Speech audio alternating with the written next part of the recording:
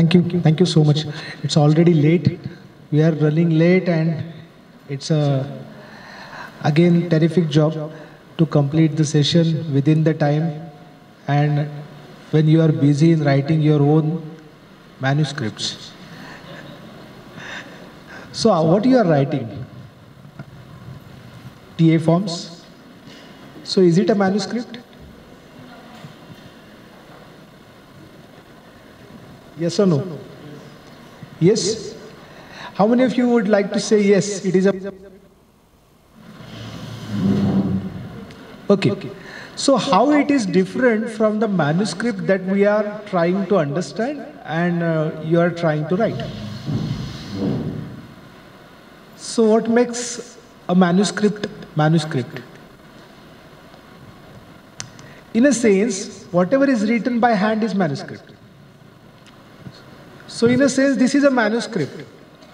But there are instances that we have something written by someone very old. So will we call it as manuscript? So how to define a manuscript? How to define a manuscript?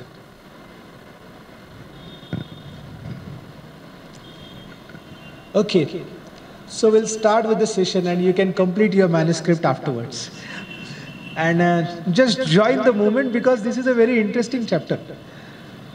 Why interesting? Let's go ahead and see.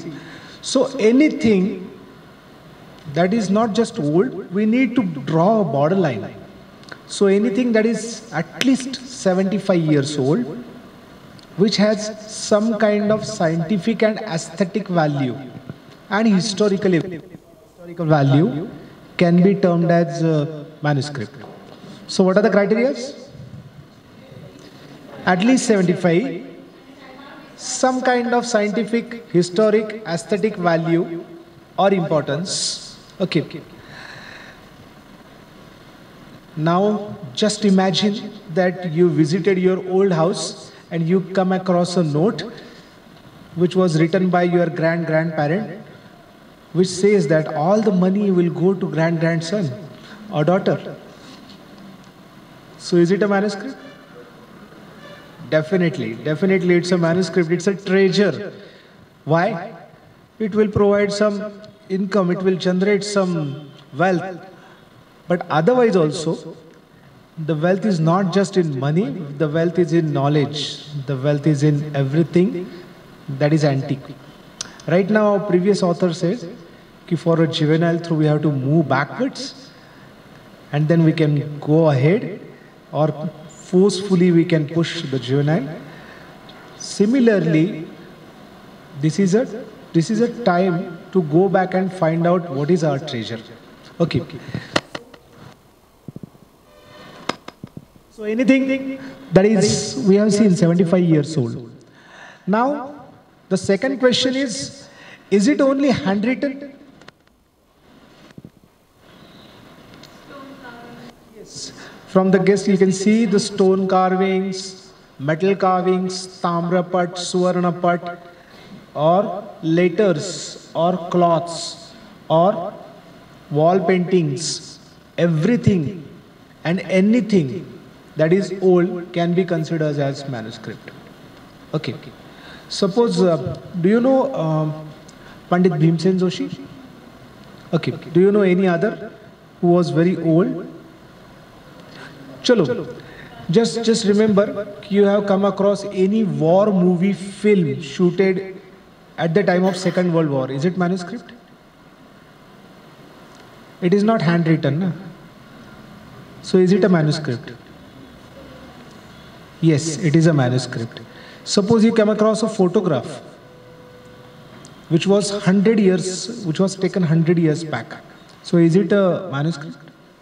Yes. So now with the definition, we have a clear idea what is manuscript and what is not manuscript. Let's go ahead. Anything, the printed one. Only thing is, the something that is already printed cannot be considered as manuscript. It should be unpublished. The source should be unpublished or original, then we can call it as manuscript, otherwise we cannot call it as manuscript. Okay, let's go ahead and find out. There are, uh, these are two terms.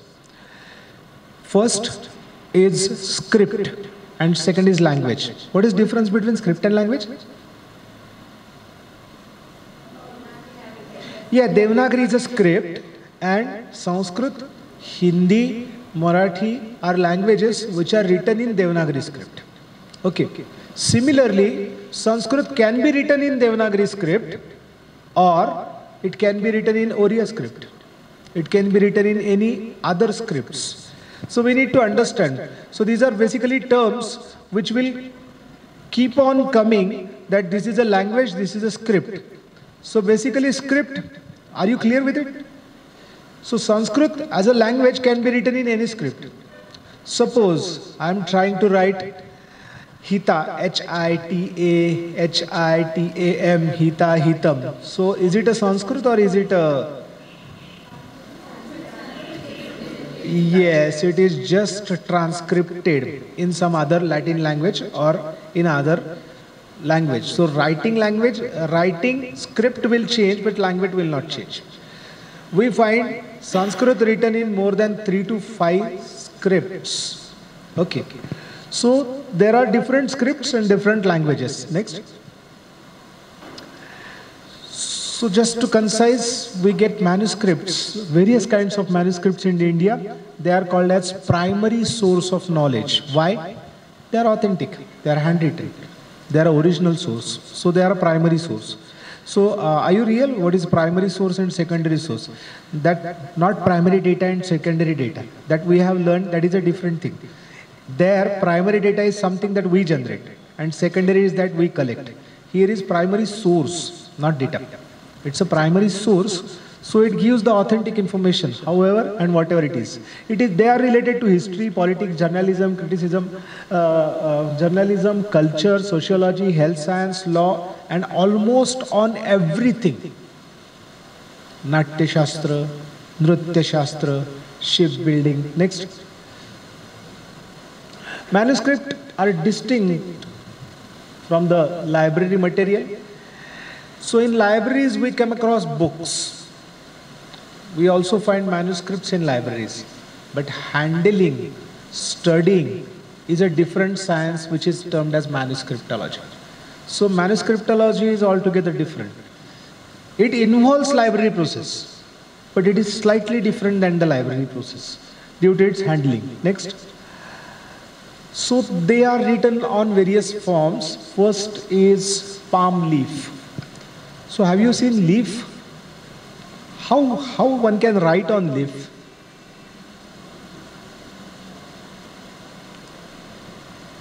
How one can write on leaf? Are? What's the question?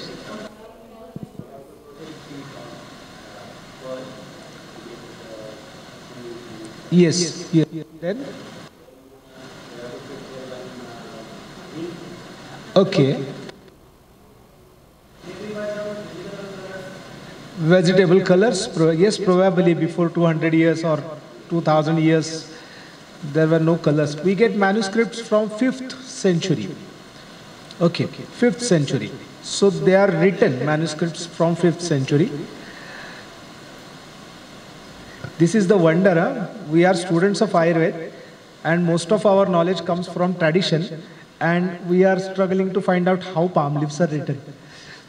Okay, go to the garden, take a leaf and do whatever you want to do with it and try to write on it. Is it possible? Yeah, so palm leaves are not written with ink. They are inscription method. They are, it is done with inscription method. That way they are punched. And after punching, the ink is filled and then it is clean. And this is how palm leaves are processed. Okay. So next is birch bark. It's not written here. Burj. That is very common. Have you seen plant of burj? Kute ugata. Where it grows? It's in high altitude, I think. Okay. Himalayan. Yes, definitely Himalayan. Though we say burj patra, mostly it's a skin it's a skin which shades automatically. It's a skin which shades automatically and it is collected. We can easily remove the skin. Okay. And then it is straightened, processed, and they used to write on it. So seasoning is always there, processing is always there, but basically the material is so clean, so spreaded, and so uniform that there are less chances of getting deteriorated. So that was useful. So Birch bark, letters, diaries, scrapbooks, and photographs. Scrapbooks, whatever you are writing, this is called a scrapbook. It's not an essay, it's a notes book. So everybody has this uh, process of writing scrapbooks, running notes. Whenever we conduct meeting, we take running notes. Then it goes to MOM. Part of it goes to MOM, part of it remains there. Okay. So this is how scrapbook helps. So everywhere there is a method of taking notes with the help of scrapbooks and such scrapbooks are very valuable. So suppose we want to study something that was there any outbreak in uh, any city before 200 years, which is not documented. So where, can, where we can find? Definitely it will go to the scrapbooks of medical officers, scrapbook of something that something has happened but not reflected otherwise. So it will go in manuscripts or history or letters or scrapbooks. So it becomes a uh, important evidence. Next, maps. Okay. Uh, what is Kamboj? We come across various acharyas in our Samhitas. No? Is there any Kamboj, reference of Kamboj? Kamboj Desha. What is Kamboj Desh?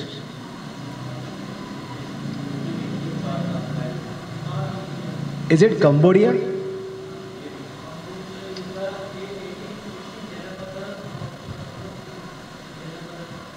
Okay. Gandhar we can make out. Gandhar we can make out. Kandhar, maybe Kandhar, may not be Kandhar. So how to name it? How to find it? The best way to find is visit the library and find out the maps in 8th century or at AD or at BC where we can find the exact exact location or demographic distribution from the old maps we can make out. So we were doing a project to uh, find out and we'll publish it soon to find out the where was Hima Parshvat Sabha. Parshvataha Himaha Shubhe. What is the location of Hima Parshvat Sabha? So these great acharyas were come together and they decided ki dharmartha kama mokshanam arogya moolam uttamam. So everybody knows. So the sabha was conducted at that place. But what is the exact place? What was the exact place? Can we demarcate that place? Suppose we want to do this kind of work, then we have to visit the manuscript libraries and find out the maps, older maps and films. Oral histories, most of the times oral histories are more important they may not be noted, they may be noted. So they come in scrapbooks, diaries, and cultural reflections. So where we can find Ayurveda? Ayurveda is everywhere. And this is the reason that we study Ayurveda from Ved, Ayurveda from Puran, Ayurveda from Upanishad, Ayurveda from Ramayana, Mahabharata. Why? because it's a science it's an indigenous science it reflects everywhere it reflects in our tradition it reflects in our daily life so it is most obvious and natural to reflect in any form of art and culture that's why it is reflected everywhere and we want to track them in the form of manuscript and we'll study them in the form of manuscript for the study of ayurveda okay suppose meghadut Okay. Uh, do you know Meghdut? What is Meghdut? Kalidas. Okay. How it starts? Astitrasyam dish devatatma. Is it true? Himalayo namanagadi raja. Okay. So it starts with a description. And then he explains ki jao is the cloud, instructions to the cloud go there and give this message. So he has explained everything. How is the route? Probably the aerial route. plants, flowers. Go there, there will be an inflorescence of this and this plant. So it reflects. We can make out, we can generate the evidence that yes, this particular plant in particular area, inflorescence is in this season, so we can take it as Kalaganana. And this is how it helps, this is how it reflects. So it is important to study for the historical purpose also. Importance of Ayurveda to evaluate and establish and to find out and to understand the importance, we need to study all kinds of materials which is old. Sound recordings, probably no sound recordings of Ayurvedic patient itself. Fine. But otherwise, we can find out the old recordings of old Vaidyas. They may be helpful. Films, epidemics, films, not exactly Ayurveda but medical science, yes. And videos. Next. So, what is this?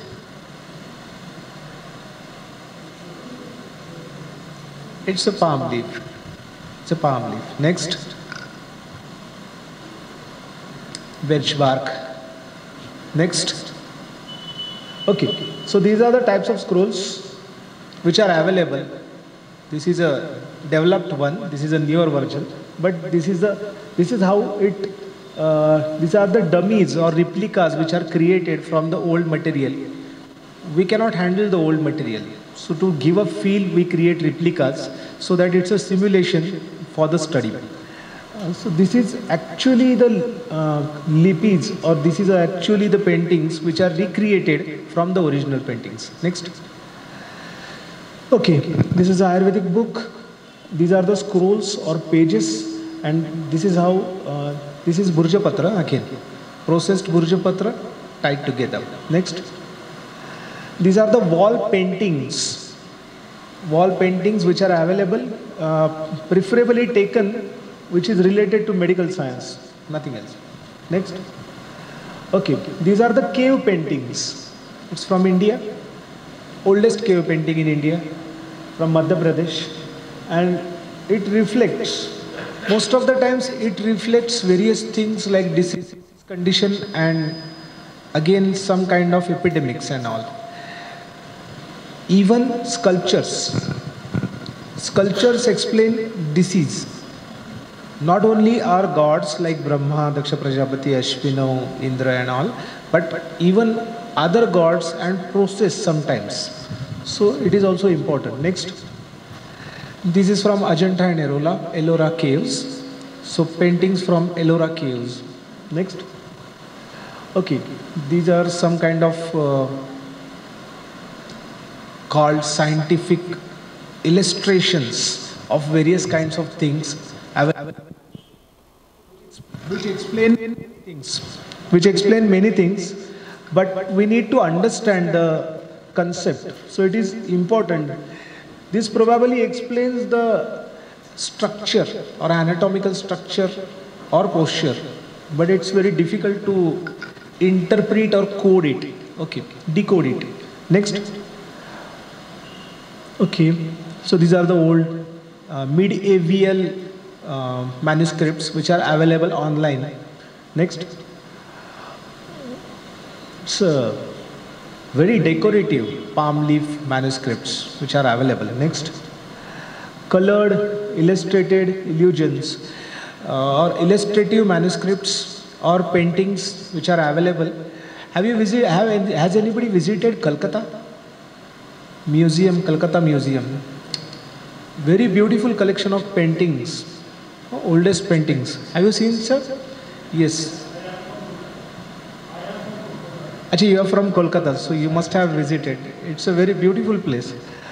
Uh, and even Rajasthan, because of rich culture, they have a large variety and collection of these kind of illustrations. Next. These are wooden.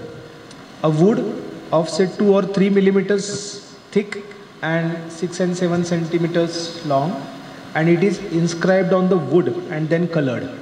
He regularly painted, not colored, painted. And these wooden planks are kept together So also wooden, wooden system is also available. They were writing on wood. Next. These are again palm leaves in the shape of fan. So it's easy to carry, easy to read. Next. So this is a incisor which is used to inscribe the text. Next. And this is the process. This is how, can you see it? He is actually inscribing in the center picture. He is inscribing on that page. Okay, next. It's very common to create this kind of in the southern India, basically in southern India. In western India, in uh, North India, we find manuscripts in the form of unstitched. But in southern India, we find in stitch format. Next. So these are manuscript libraries. So this was just an introduction to grab the attention. Yes, there is something called as manuscript we need to study. Next. Rolls. Either it is stitched or rearranged or scrolled. Next. These are the primary sources and manuscript and manuscript collection process. So now we are moving forward. Next. So first hand account, first hand information, like newspaper. The value of the newspaper is at the same day the value is highest. Probably on the next day there isn't any value for that uh, newspaper. But after say few it again becomes important. Most of the times we see the clippings. This was the news from 12 years, 13 years, 15 years, 60 year old paper. So it becomes important. Photographs, diaries, everything is like that.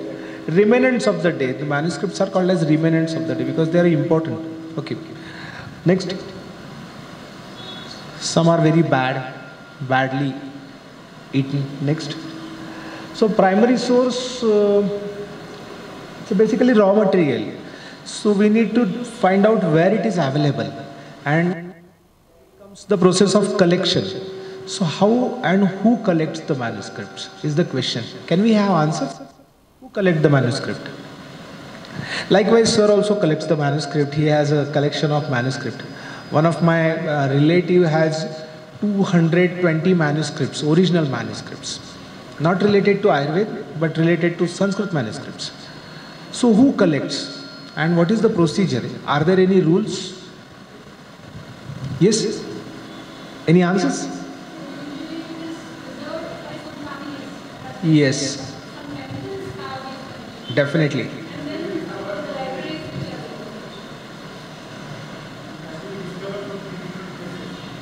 Yes. So everybody agrees that it's a basically tradition, so it is kept in families nobody is that generous to give away the manuscript. So it's a conscious and very deliberate effort is required to find out the information, then collect the information and that trustworthiness should be shown by the person, NGO, government that the manuscript that we are going to receive will be well pre preserved and will be utilized for a good purpose. Okay. So this is how Initially, it started after the independence that government has, before even before independence, the British government has generated many, many, many evidences or manuscripts together in the form of study. Though we were not independent, science was growing somewhere, like Ayurveda. We can find the development of Ayurveda from 16th century gradually moving up, moving up, with the help of Vaidya traditions and even from 1930 we have uh, schools of Ayurveda in various different parts of India. Similarly, they were preserving this kind of manuscript, but a larger effort were taken by government in the form of forming the institute.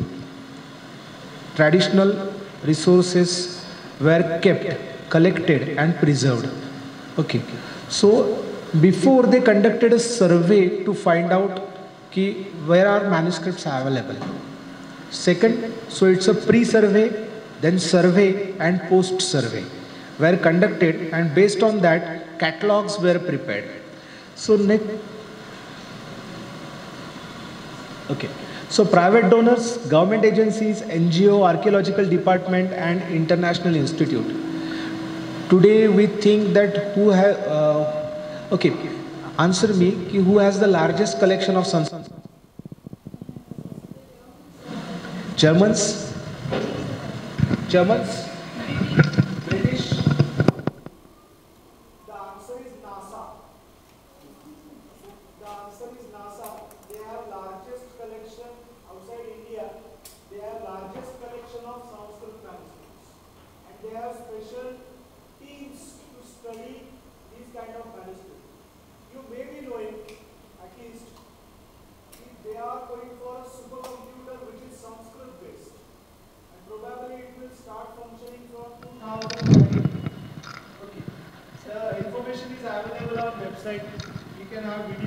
Related to this information.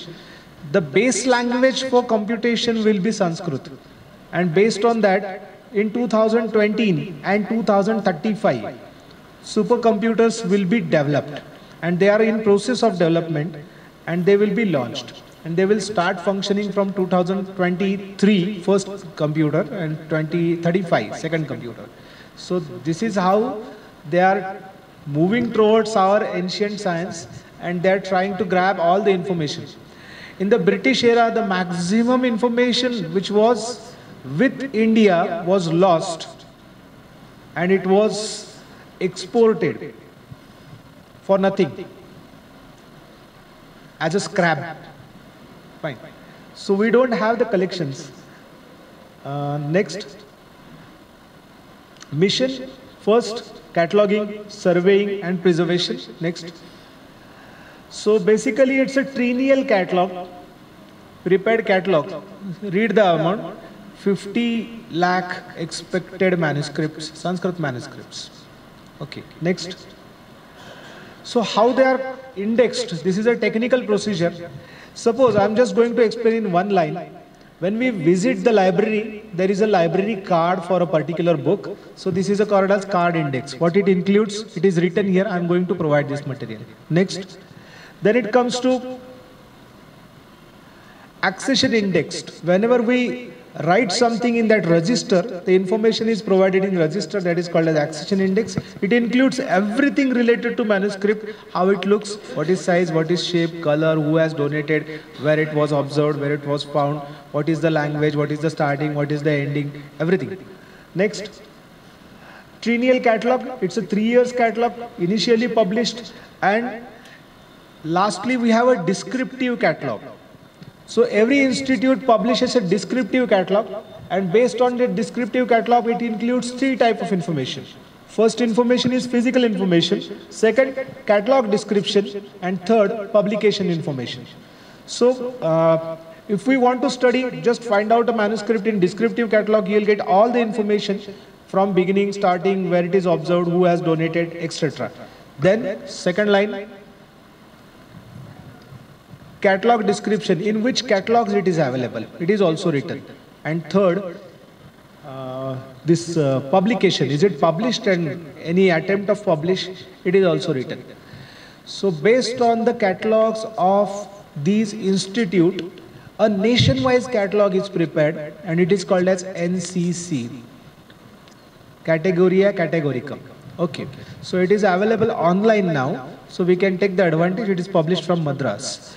So it includes information related to one particular manuscript and availability of manuscript in different different libraries with name tags only, no description.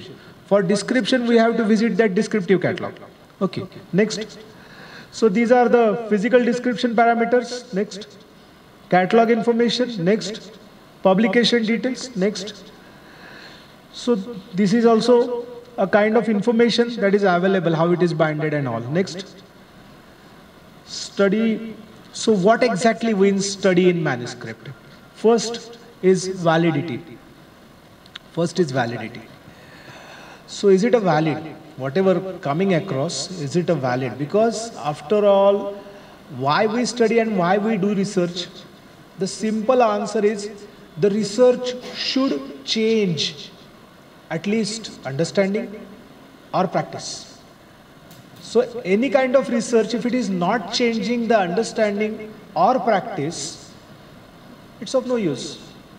It's not just the sake of research for research. So it should change at least understanding. Change the practice, it will come later. It's an application part. So understanding level, yes, definitely. So whenever I am studying something, it should provide me the information which is either relevant, either same, either valid. What is valid? It is providing the information related to concern area which is correct. Correctness we can check. Differences of opinions can be resolved. But it's a different issue, just validity. So validity, yes, from the genuine source. Uh, you must have seen the um, some English movies, na? Uh, for the validity of ancient material not for uh, books, but for pictures. The most costliest pictures of Da Vinci. Fine. They are stolen, then they are again reproduced, then comes the question of validity. So this is validity is again an issue. Then sculptures or metal sculptures. Again, there is an issue of validity. So there are parameters and there are branches who keep on studying this. So we just need to know if there is a validity. How, how we can decide the validity with our own system, language, history, identification or carbon 14 dating. Carbon 14 dating, everybody knows how to track the age of the older thing. We can do it with carbon 14 dating. Cross references, new acknowledgement, uh, new knowledge and addition of knowledge. So these are the parameters that we study. This is the basic intention for which we study manuscript. Next. Manuscripts in India, yes, we have Ayurveda, Unani. I'm talking about just our science. Ayurveda, Unani, Yoga, homeopathy. Yes, definitely. Next. Agriculture, temple art, everything. Why I have enlisted this? Because it includes some part of Ayurveda. Somewhere it includes, even martial arts. The older manuscript related to martial arts includes some part of Ayurveda. Some procedure, some Snehan Svedana Abhyanga procedures, some oils, some medications. Yes, next. Uh, technique, so what exactly we study uh, so these are again enlisted. Samudrik Shastra is the last. We don't study that. Uh, material, martial arts, animal husbandry, yoga. Animal husbandry, definitely a concern. Because everybody is trying for A2 kind of milk today, not preferring A2 kind of milk. So if we want A2 kind of milk, question is validity. Is it from genuine source? And do we have that much number of cows that will produce A2 milk? Okay. So somewhere we have left the Go Ayurveda, Ashwa Ayurveda, Gaja Ayurveda, Ashwa Ayurveda. We have to revoke. And uh, we are not understanding, but animal husbandry, they are doing this. Okay. We have a, a BIF institute in Pune and they are literally going through the Ayurvedic text to increase the milk production, to increase the production, to develop the genuine good cow or genuine breed of cow. Fine. Next. Availability of manuscript almost in Indian subcontinent, everywhere, everywhere.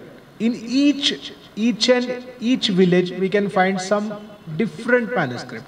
Next. So these are the manuscripts. Language, yes, we have basically in Sanskrit and then in all regional languages or basically Sanskrit supported by regional languages. Any language. Next. So this is a script that we should know. If you are really interested, go and find out. It's easily available on the net.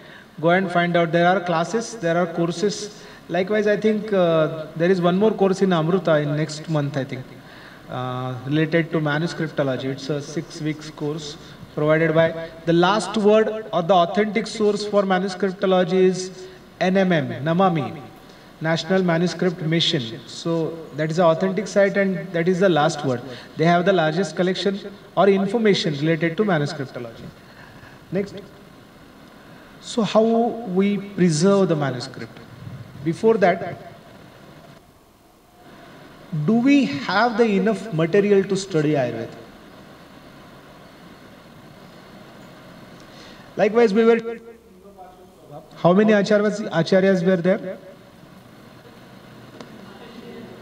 332, 53, okay. And uh, one of them was Atreya. Six students of Atreya. One of them wrote Charak Samhita, Agnivesh Tantra, and then we have Charak Samhita and four commentaries. Okay.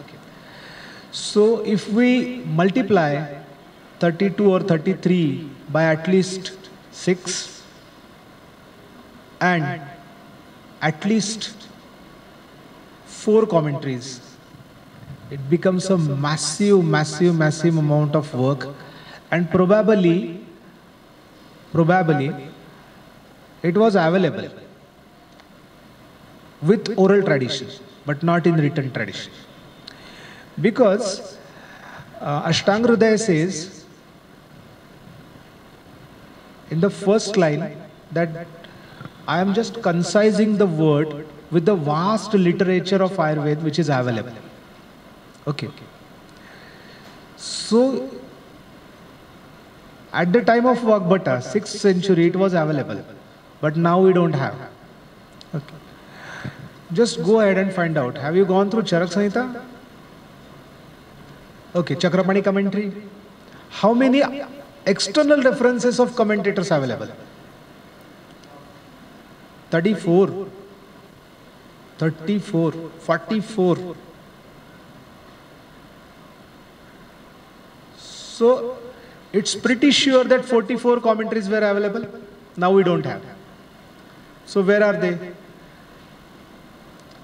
Probably in somewhere hidden in the form of manuscripts and we need to find them. We have only four commentaries today of Charak Samhita which are not complete. Only Chakrapani and Gangadhar we have complete commentary. A part of uh, Chakrapani and Gangadhar and part of I think Yogendranath Sen, part of some other commentaries. Jet Jet. Very less information available. So likewise the information that we have is like an iceberg. Only a part of it is available and other is hidden. So how rich we were at the times of Vagbhata. Who can say that सन्ति यद्यपि शास्त्राणि सुविस्तीर्णानि अनेकशः तथापि साररूपेण सार तथापि बालबोधाय साररूपेण उद्यते okay so basically it comes we need to preserve them. How to preserve? So it's of four types, physical, chemical, then digital and manus, uh, microfilming. Next, go ahead. It's a quite easy process. Physical, ma'am.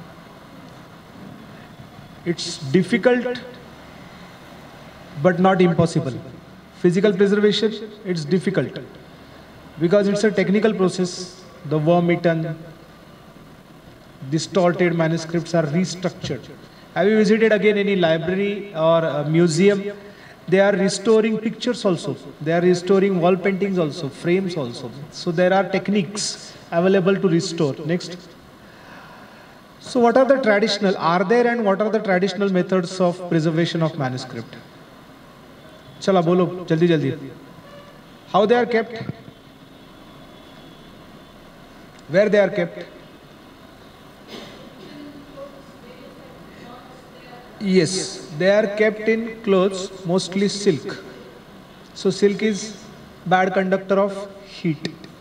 So it will prevent from moisture, it will prevent from temperature. Basically the cloth is either red or yellow. So those are red. So these are, those are insect repellents. Next. Usually they are kept near the uh, temple in house. Where is temple? Usually facing east, but it is somewhere middle of kitchen and hall. So it's a secure place. So it's a place stored in secure place where less uh, handling is possible. Then we have few more methods that uh, they used to keep uh, various plants and they used to offer turmeric so turmeric is again uh, insect repellent. Camphor is also insect repellent. So fumes They will help protect this manuscript. They are exposed to sun during eclipse. This is again a good method. Okay. And they are kept out cleaned and went through or studied on the first day, Vijayadashmi. The day before we celebrate Khandenavami and next is Vijayadashmi. So usually those who have manuscript, they take them out, clean them and again restore them. So these are probably the methods of uh, restoration I'm just going through. So who are the enemies of macros, uh, manuscripts? Yes, first is man. Dangerous enemy, man. Why? Yes, most of them don't know the importance. My grand grand parents or grand grand uh, grandfather was uh, Vaidya and he has a collection of say 100 150 books. It is kept unattended in some loft in some areas. Actually, I don't have pictures today, but we have pictures that say 100 and 150 manuscripts which were very important were kept in a bag which was left everywhere or we collected from scrap. It was sold in scrap for 1 rupees kg. What a pity. So they don't know the importance. Humidity, yes. Temperature difference, yes. Moisture, yes. Insect, yes. Termite. And these are all Shatrus. Shatru, yes. Foreign enemies, yes, foreign enemies. We'll come to them. Next. So wrap in silk cloth, bundle. Next. Okay. Uh, this is very important. Huh? A wooden plank is kept. A thick wooden plank is kept on the top and at the bottom. And usually they are tied. So there are different methods of tying. We can take this book and we can, can you hold this? We can just tie it around. Or there is one more method. We can keep a hard substance before and, and on the top and below. And we can pass a thread through it and tie it properly. So most of the manuscript which are well preserved have a hole in the center or somewhere near. Same method is replaced by a sidewise tapping in the form of stitched books afterwards. But initially, can you see this manuscript? On the top, it is pinda shape. In the center, it is circular and at the bottom, it is square. So three types of papers are uh, just tied together with a string. So it's very different kind. I will show you the internal structure also in the next pictures. Next. Uh, traditional methods, lunar eclipse, we have seen Vijayadashmi. Next. Chemical methods. Chemical, is it good, bad, don't know. We can use Nimba, Ashwagandha, Haridra and all insecticides for this. But thymol is again used, pesticides are again used. But they are harmful. Why? Most of us have a bad habit of reading. It's not good, but it's quite obvious that whenever we want to turn page, we want a moisture. Moisture from anywhere. So, uh, it's a difficult task to get rid of habits, but that way we can prevent the insecticides to prevent ourselves. Next. Microfilming and digitization, yes. Microfilming was used earlier. What is microfilming? It's a very, very effective technique. A different camera was used. All the pages were kept on a platform and a camera was rolled. And the projection can be made up to a wall width and length so that anybody can read the even minute part. But it's quite tedious to get that manuscript, uh, that camera and that filming, though it was done earlier. Now the easiest way is digitization. Just take the digital photographs. You can see even the camera which we are using or mobile we are using, we can take a photograph and we can enlarge up to say six times.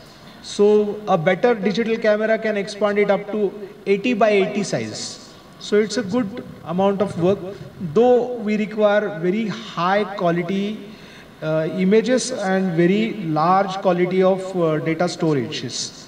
Next. Cataloging, it is available and these are the centers. The list is available on Namami site. I will not go through the list. You can find one from your own area. Next. Just keep on rolling, ma'am. So these are institute. We have five institute in Pune. That way we are lucky and we are moving towards this from last 10 years.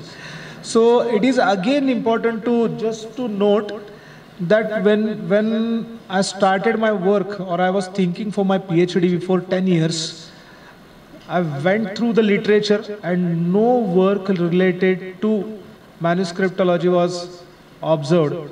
Only the books published by Yadavji Trikamji and some great acharyas with referring all like Gadre, Gopal Krishna Gadre and acharyas for writing the books. That was the only manuscript work.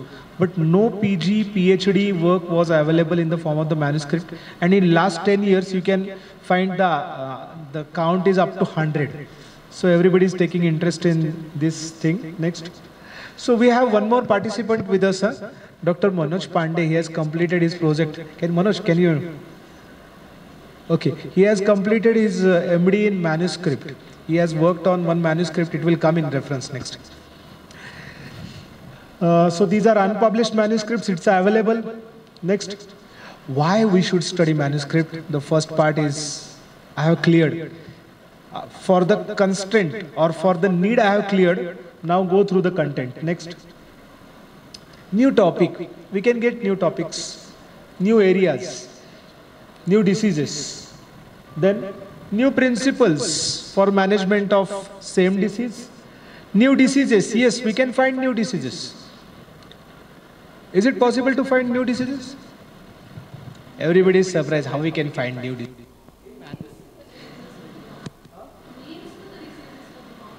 Uh, maybe name to the diseases. I was also thinking same. But uh, I worked on a manuscript called Jwartimir Bhaskar for my PhD. It includes 10 types of Jwara. Okay. So we know Santata, Satata, Anyadyu, Tritiyaka and Chaturthaka. Anything beyond that? The book explains Panchahodbhava and Shadhodbhava also. It's a 16th century manuscript. So we may not know that what is going to be there and what will come across and will it be useful. Yes. Uh, procedures for Rasakalpa, the books, they explain very simple and very effective procedures for Shodhan and Maran. Bas me correct. Okay. Drugs, yes. Are we clear or are we pretty sure that the plants which are available today and not so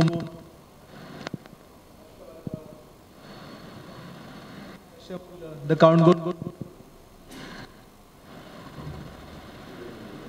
Jiva, Rishabhak, Ashtavarga. So n number of drugs we have lost, we may come across importance of these drugs. Uh, modification of concepts, yes, definitely. Uh, okay, uh, so Manoj is here, so we can go with Manoj example. He worked on a manuscript called Arshogna Sutakar Vichar Sudhakar. And um, he came across a fomentation instrument. It was a manuscript written in 16th century and it explains an instrument for fomentation like sitz bath. Is it amazing? So we can come across the different institute, not uh, not uh, instruments, not for just uh, panchakarma procedures, but for many other procedures. New signs and symptoms of the disease, yes. Likewise, ma'am said new names. In Jwartamari Timira Bhaskar, we have classification of Sannipatik Jwar in Sannipatik Jwar of 13 types. But he explains three different classification of 13 types. So it comes to 39. And when we actually count, the count goes up to 44 with change in names. Names are changed, but the symptoms are same. So based on symptoms, it is 39 only. But based on name, it may go up to 44. So this is something very interesting. Why interesting?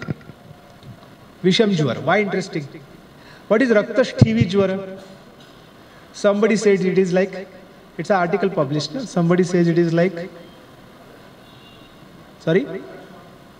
No, no, no. Raktash TV Jwara is uh, epidemic right now, before a few years. Similarly, we have comparisons for Nipah virus also. The outbreaks, various kinds of outbreaks, or animal origin diseases or fevers of animal origin. So symptoms we can compare and we can label them and we can go ahead. New herbal and herbomineral combinations, n number of herbomineral combinations, n number of combinations. So opportunities unlimited for this study. Next. Jain manuscript. They are very rich in colors and traditions. Next. Next. Just move ahead. Uh, okay. Now you will surprised to see the various glorious pictures that they are not in India. They are published by British government. Uh, just, just two slides earlier. Just come two slides earlier. One more. One more. One more. Sorry. Okay. It was just a Manmohan Singh's photograph who published a catalog of uh, Jain manuscripts in London Library. Okay. Next. So these are also rich. Okay, okay, okay, okay. Uh -huh. Okay. Can you identify this picture? क्या है ये Takshashila yes absolutely absolutely one chocolate for sir from me okay takshashila definitely it's a takshashila the lost retract and we have lost many books from Takshashila. It is said that 50,000 books were burnt. 50,000 manuscripts, different, different manuscripts were burnt. Next. Nalanda, definitely. It's a very good clue, Nalanda. Again. Next. So is this? Huan Shang. The name is written on the right lower corner. It's a famous scholar, Chinese scholar who came to India, who studied, and note the bag on his back full of books, full of manuscripts, written books. Okay, next. So, this is how they used to write from one book to other book. Next. And uh, do you know about this? What is Gilgit manuscript? Gilgit is, yes? Gilgit is an area in Pakistan near Baluchistan and where the oldest store of manuscript was observed and they are now published. Okay, part of it is published and part of it is unpublished. You can just Google it and you'll find it. Huh? Next. Again, we have references from Bower manuscript. It's a Buddhist manuscript, Bower manuscript. And we have references in history related to these manuscripts. It includes many informations related to Ayurvedic uh, diseases and text. Next. Okay. Uh, so what's time it is? This is a one-third presentation. And now I will move to next. Can we continue? Probably. Next. Just, just let me know when you are bored. I'll just wind up in three minutes. Okay. Uh, Ma'am, second. Yes. So I'm just running through ki what is the procedure. First part was importance and uh, manuscriptology and why we should study. Second, how we should study. And third, our story, what we are doing in our department. Uh, so this is the catalog of Vaidyakam. Ma'am, just keep on rolling. So it includes various uh, so this is how we should go through a catalog and number of uh, entries we should enlist. Next, next, next. Related to diagnosis, related to Dravya Gun, diseases, treatments, Rasa Shastra, then compilatory books and special subjects, Pathya, Apathya and all. Next. So study of manuscript. So basically what we need to study first is forms, shapes, techniques, writing, punctuation, abbreviation, colophons, illustrations, and corrections. So nothing went through your understanding. Let's go ahead one by one slide. So these are the forms. So this was the manuscript I was referring to. So it, it is three layered. The upper part is in this circular supplemented pinda shape. Then this is circular part and then this is, you can find a hole and a string is passed and tightly. So what is, what is the importance of that wooden plank? Try to imagine a notebook with hard cover and soft cover. What happens to the soft cover? Yeah, even in six days, it started folding from the side. After a week, it will tear. But for a hard bind, it will, it will last for more days. So uh, stitched, unstitched are the basically types. Rolls, potho and pothi, shorter and larger. Pothi, potho. Next. Uh, techniques of writing. They are written, incised. Next. Basically, paper bars are incised. Next. Palm leaves are written. A even margin is left and they are written with ink. Probably vegetable ink or most natural inks with some kind of added material. Uh, so this is height-wise and length-wise. We call it portrait and landscape. So both the types are observed. Uh, see, the uh, rectangular line is marked afterwards, after scanning the document. So how precise it is. Next. Equal margin between the lines. Most of the times we find, sometimes we don't. Next. So this is very complicated. One Sanskrit line for the original text and in between a running line for commentary. So sometimes there will be a mismatch. It will not end exactly. So we need to trace it continuously and find out. Uh, uh, just come, first slide please. So it is written. See, remember, unlike our uh, dissertations, manuscripts are always written on both the sides. And lines start without margin. we how we write sutras in our dissertation? Hitaitam sukham dukkham. Next line, ayustasya hitaitam. No they will write everything itaitam sukham dukham itam and after finishing just one danda and they will start the new word there only so no margin is left because paper was precious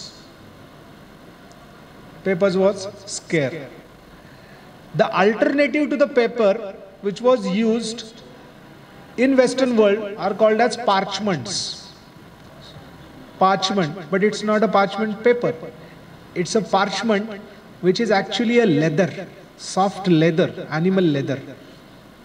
And they used to write. Uh, we get uh, very good works by Shakespeare on parchments. Okay, original works. Next. So, this is how it is tied, kept. Next. Text only, first part. Next text and commentary running side by side together. Next. Salutation. The first part is salutation. Always there is salutation. Shri Ganeshaya Namaha. We started with Dhanvantari prayer today. So it's a, our tradition. So it always comes. Dhanvantaraye Namaha. Sometimes multiple salutations. Why multiple salutations? Before exam, we just pass one kilometer and we can go for 25 times for different gods. So for the completion, it is said that uh, more is better. So everybody is, we are religious, spiritual, and we keep on following this. Next. Uh, pagination. Numbers are on only one side of the folio. One page is called as folio and it is numbered only once at one side.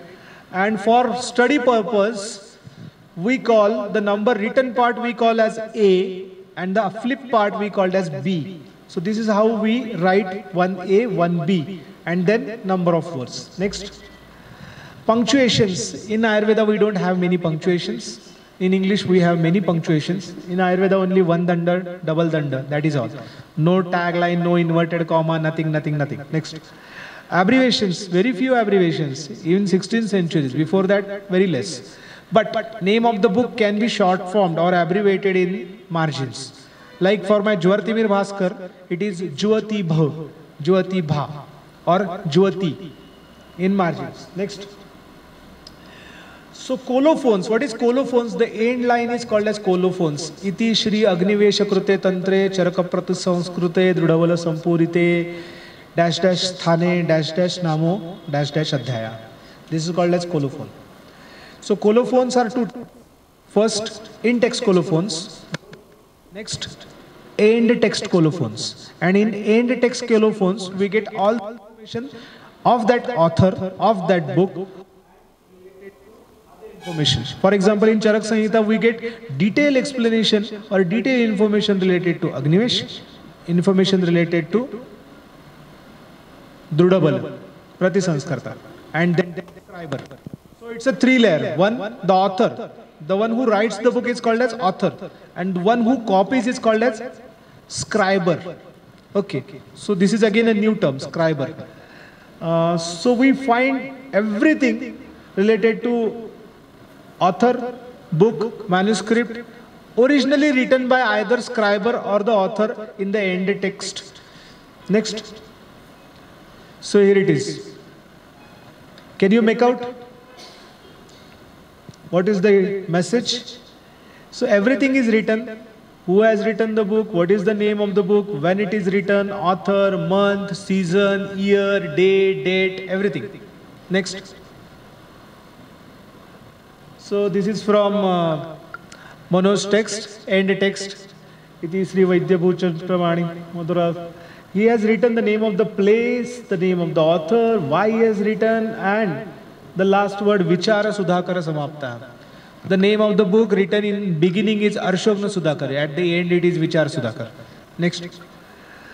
Illustrations. In Ayurvedic books we don't find any illustrations. But in other manuscripts we find many illustrations. Gold plated, silver plated, lined, colored. Next. Decorations. We don't have decorations, only a just tingling. Next. Next. Corrections. Yes. Ample of corrections. Why do errors happen? How and how many errors we find in journals? I think you got the answer. Whenever somebody is copying, the errors are bound to happen. The professionals, as expected, will do the less errors. But again, I have observed this as myth in my own study. I have a scribe amongst my six scribes or six codics. One is written by a king or professional scribers for the king. It is written by eight authors and it is the most incorrect. Why? I don't know. Most incomplete. Usually, the professionals write very professionally and otherwise those who write for swapathanartha, for self-purpose. Why books are precious? Books were precious because everybody has to write his own copy. Initially, Patha Avabodh, and then when the part tradition was changed to the written tradition, everybody used to get a book, copy the book for the own, and then study the book. So this was the uh, situation. So errors, yes, replacement, reduction. Uh, do you know that Chinese whisper game? Suppose I tell uh, 10 names to ma'am and ma'am keeps on passing the 10 names. The probability of getting the 10 names right here is very less. So this is important. Why important? Do remember this because we need will need this part in the next part of the lecture. Next. so this is how it looks. And it is this is what we study.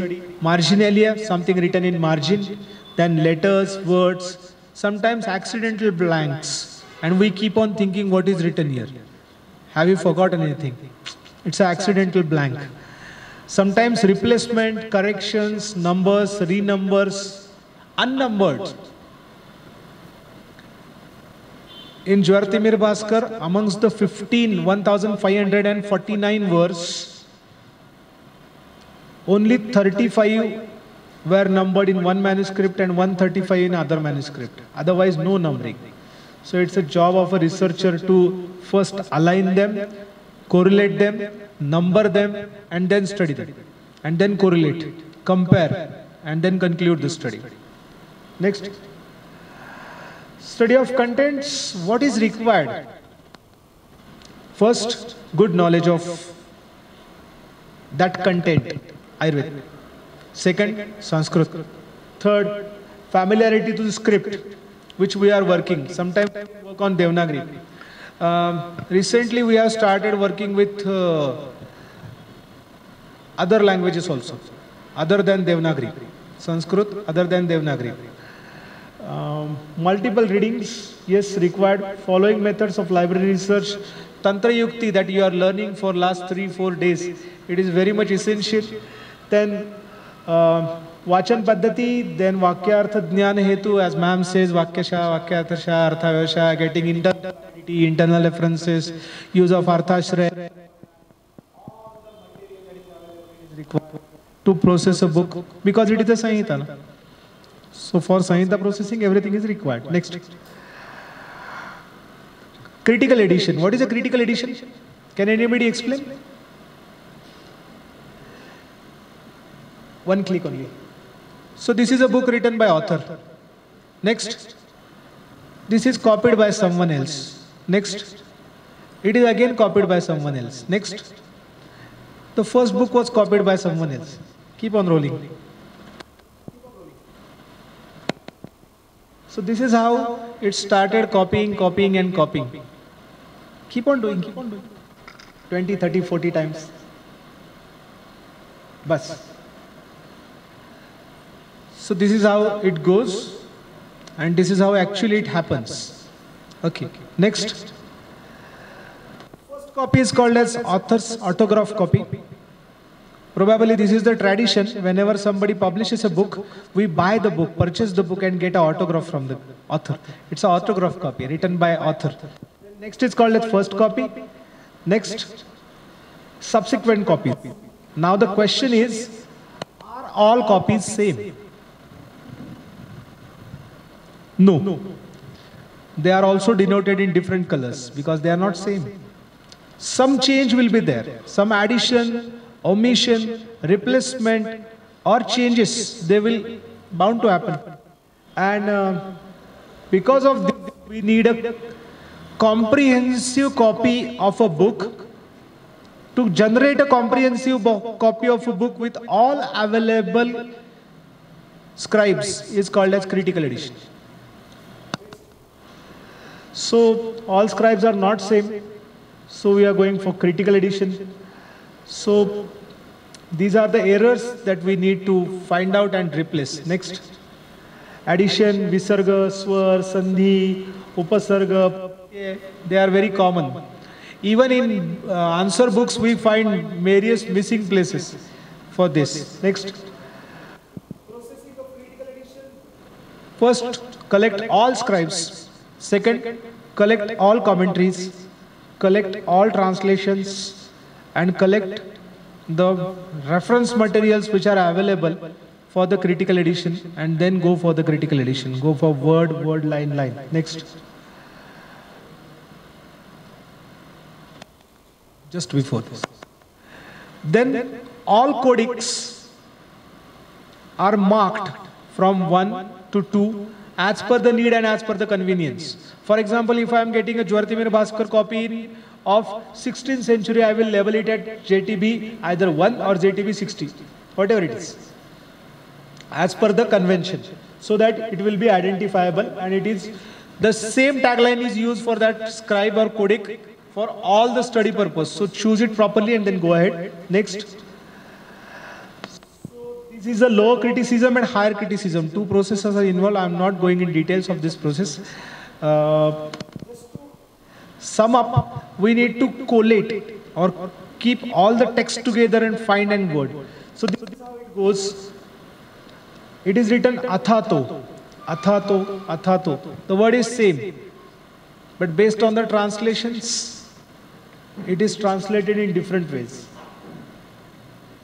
So we are writing everything in first line, second line, third line, fourth line together and then actually it is expected to do it word by word, uh, letter by letter.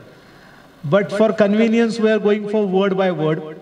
And even for my personal study, I have gone for uh, line, one person to go word, word, word and line by line. Fine. Next.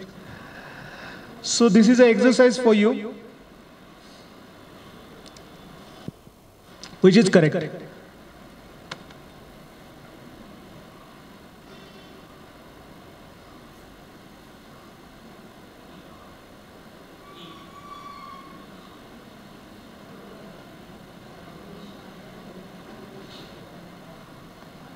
For manuscriptology, I have learned something.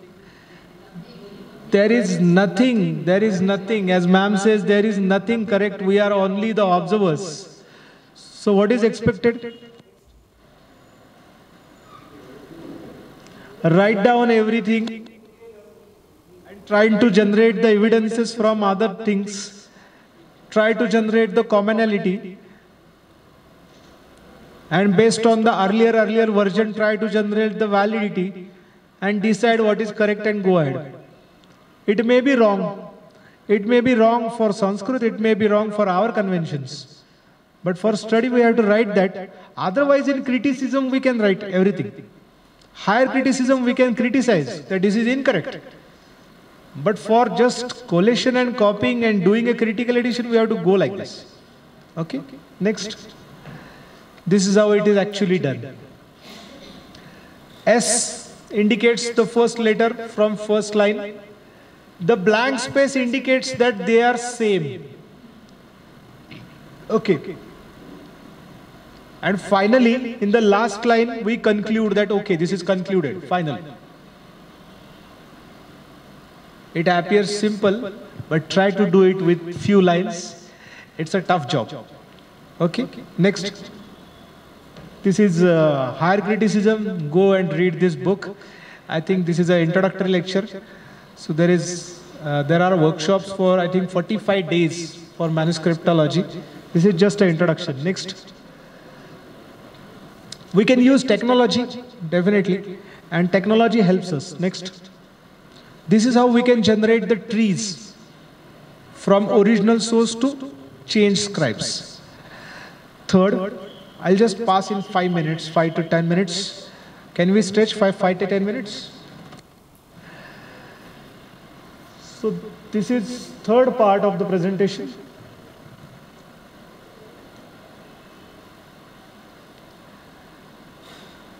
No, no, first slide, first slide. This is second last slide, I think.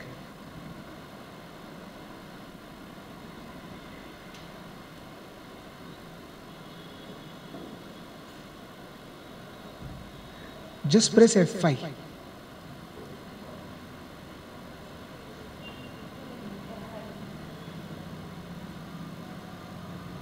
Okay. Study of manuscript Vaidyak, our story. What is our story? Our departmental story.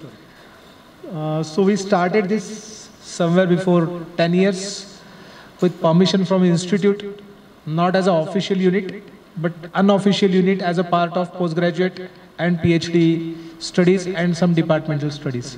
Next. Uh, so this was first Kalagyan Vichar by Kirti Patel, first postgraduate student of mine. And um, we, uh, the Kalagyan Vichar is, is manuscript in 16th century. It is diagnostic, basically for the diagnosis. It includes Mutra Pariksha, then Nadi Pariksha, Mala Pariksha, few uh, symptoms of Jwar, and uh, few other relevant informations. It was compared to 16th century and we found some different methods of Nadi Pariksha and different elaborations than other compared book like Yogaratnakar. So this was the outcome. Next, it was published in uh, study of manuscript Kalagyan Vichar. Next. Uh, this is the abstract. Uh, you just, uh, those who want to read the articles can go through, go to Google Scholar and find Mohan Joshi and you'll get the whole list of published articles. You can scroll down and you can visit the site, you'll get the articles. All articles are on free resources. Next, Vaidya Vallabh, it was by Kishore, Kishore Rathod. And uh, fortunately, I have displayed this because we have published this book. So last stage, what is the last stage of manuscript work? That is publication. So this is uh, how great experience is this try to uh, analyze that a postgraduate student completes his project and in next year he publishes his work in a form of book. Otherwise, our postgraduate uh, dissertations are lying somewhere in the, our own cupboard and then libraries. Nobody is reading. So unless we publish, it's publish or perish. So it's better to publish. So it's a good opportunity to publish because it is unpublished manuscript. Next. Uh, this is the inside and we have worked on these 11 scribes. 11 scribes for this Vaidya Vallabh. These available scribes and then a critical part of it and then publication. Next. Arshogna Sudhakar, Manoj is here. So he has worked and he is soon going to publish his work. Okay. Soon going, everything is ready. Almost, I think ISSN number will come and he will publish. Probably month, he will publish his work. Uh, next. Yoga Shatak. 100 formulations, a book of 100 formulations. It's a very good book and it's a commentary that we have studied on Yoga Shatak. So initially we started the work, it was by Shubhangi Patil. Allotted the project to Shubhangi Patil, she started work and soon we realized after starting the work that this is not the original commentary, this is not the original Yoga Shatak, this is a commentary. So our work increased threefold because it was tasked to find out what is the original manuscript Yoga Shatak. So we studied that, then commentary of manuscript Yoga Shatak, and then she finally completed the study. And uh, this will be also published in one or two months. We have a few uh, articles published, but not a whole book published. Next. So this is an article published by Shubhangi Yoga Shatak. Next. This is the summary. This is one more article published by Shubhangi on Yoga Shatak. Say it's like Charak Samhita or Samhitas. Na? So we can uh, extract n number of articles from a work. So this is again a multifold benefit for working on manuscript. Next. So this is uh, Pathya Pathya Sangraha by Sudhir Patil. Uh, to our surprise, Dr. Sudhir Patil was a medical officer. He worked as a medical officer for 10 years in uh, primary health center in Maharashtra. And then he decided to go for MD for promotion. And he came here. Surprisingly, he was interested in manuscriptology. He studied the manuscript. And as a result, he was very happy and we published this manuscript. Pathya Apathya. It includes the uh, explanation of 65 diseases and their Pathya and Apathya. Basically, the author is from Konkan area or coastal region and he has given fish, various types of fish as Pathya, Ahar and Apathya. So it's a new contribution to our understanding. Next. Next. So this is uh, Rakta, one, just one treatment, paper on just one treatment. Next. And a published book also. Next. This is a uh, just byproduct which was done. Uh, uh, Pathya Pathya Sangrah and Sushrut Samhita comparison. So we can generate the papers out of this. Next. Manuscript Subodhini. It was recently completed by Zai last year in January. Uh, she passed her MD. And uh, this is a commentary on Madhav Nidan. So we have two commentaries right now. One is uh, Atanka and Madhukosh, two famous commentaries. The author has worked on Atanka Darpan and Madhukosh and provided some other insight to Madhav Nidan with uh, Subodhini. Okay, so it's a very interesting part. He compares something related to uh, uh, something from Madhukosh, something from Atanka Darpan and explains something his. So this will be also published in recent, uh, we are working. So working for dissertation and working for book are two different things. So we need a lot more efforts for working on book. So this is in process of publication, it will come out. Okay, next. This is a paper on uh, only one chapter, Jwara Nidan. So there are 66 chapters. Next. Um, okay, so now these were four, five uh, manuscripts which were worked for part of the MD desert students are very interested in working this. So here are few examples who have not taken uh, manuscript for MD work, but they are interested, so they have picked a small manuscript and written a paper on manuscript. So these are four, five papers. Uh, one is from Supriya Kulkarni, probably Mohanty ma'am knows Supriya. And she, uh, after completion of her project on infertility, she worked on this manuscript and she has written this paper. It's a very good paper, Vaidya Manotsav. It's a very good manuscript. It was a pothi kind of thing with uh, uh, four four lines and four three three lines. Charolya, we say, na, uh, chaukids, a different kind of uh, prose uh, or uh, poetic form, and some dohas and they, those were studied and it, it's a very good article. You can just scroll through the article. You just type dr supriya kulkarni vaidya manotsav and you'll get this article. Next. Uh, vaidya manotsav these are the abstracts. Next. Again uh, vaidhyamrut it was by bharat sangle again a student from department. And it's a man, small manuscript of 14 pages. So we call it small. Some people work on 14 pages for dissertation. But for our standards 200 lines is minimum nothing less than 200 lines can be studied for MD. And for my PhD, I have taken a huge task, 1,539, 49. Next. Uh, again, very good manuscript, 55, 52 diseases and their applicability. Next. Vaidyaksar, again studied by uh, some students, common and published. Next. Uh, this was the paper.